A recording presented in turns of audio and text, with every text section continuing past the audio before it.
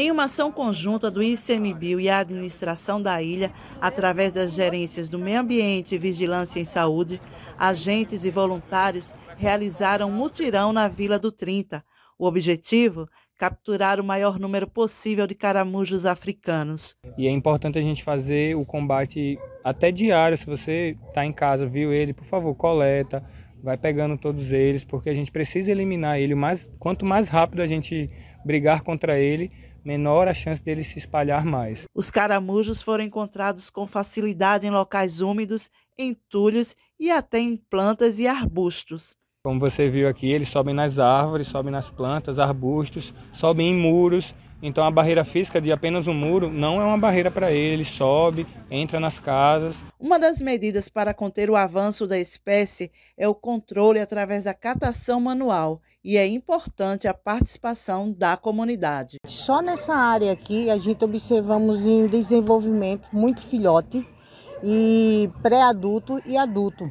E a tendência deles, se não tomar cuidado, é ir para outros bairros, é ir para outras casas. Se a comunidade não participar junto com a vigilância sanitária, ICMBio, administração, não vai dar certo. Hoje eu fiquei muito impressionada, embaixo dos, dos entulhos, nos quintais, e eles têm de vários tamanhos, desde pequenos até muito grandes, então se não tiver uma ação de catação, onde a comunidade toda se integre e participe para que isso aconteça, a gente vai ter uma infestação muito maior do que a gente está vendo aqui. Um caramujo adulto vive em torno de 3 a 4 anos. Com alto potencial reprodutivo, pode produzir cerca de 400 ovos por ano. A espécie tem facilidade de se adaptar ao meio ambiente, favorecido pela umidade, matéria orgânica do solo e pela variedade de vegetação.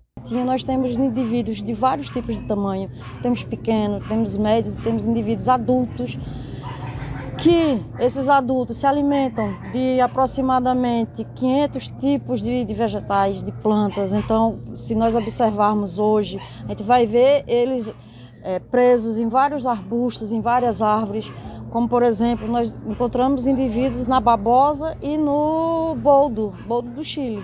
Então, assim, são dois tipos de plantas diferentes e que esse animal se alimenta dela. A alimentação dele é puramente de vegetais. Entre os problemas de saúde, o caramujo africano pode transmitir a meningite. Diante da proliferação, a população deve atentar para a limpeza dos quintais para conter o avanço não só do caramujo.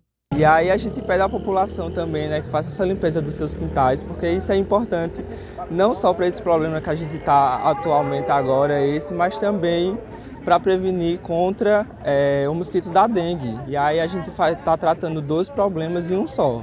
Tanto tratando esses entulhos para que não acumule água e sirva de, de criador para o mosquito da dengue, quanto também para esses moluscos. O mutirão durou uma hora e 30 minutos. Os participantes coletaram pouco mais de 23 quilos. Todos os caramujos recolhidos receberam uma solução de cal e posteriormente serão retirados da ilha e incinerados no continente.